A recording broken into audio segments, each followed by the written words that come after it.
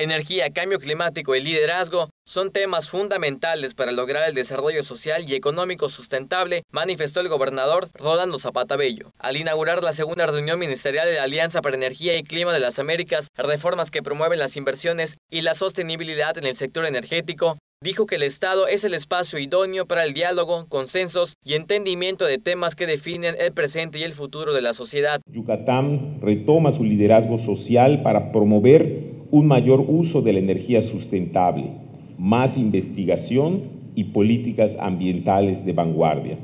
Si bien la capacidad instalada actual de producción de energía renovable es incipiente, existen varios ejemplos que indican una mejor perspectiva en, nuestra entidad. Indicó que con base en el Inventario Nacional de Energía Renovable de la Secretaría de Energía, Yucatán tiene el potencial de producción energética de 432 gigavatios hora al año con la biomasa eólica y solar. Señaló que la entidad tiene formación universitaria de excelencia y el Laboratorio de Energías Renovables del Sureste que vincula a los expertos con los empresarios. En los últimos años, agregó, los emprendedores yucatecos apuestan por las energías renovables y la juventud lidera la comercialización de los sistemas y varias empresas adoptan esa tecnología en sus procesos productivos.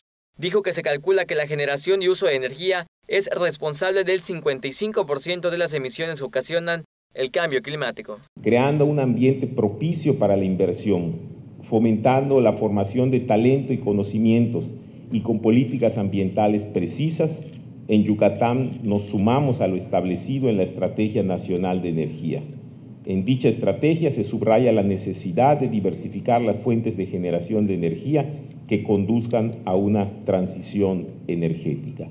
Subrayó que se está en el punto crítico para la innovación de tecnología, accesibilidad a las energías renovables, consumo eléctrico eficiente y la adaptación y mitigación del cambio climático. Con imágenes de Joaquín Martínez, información de Gaspar Castillo, Noticias Día a Día.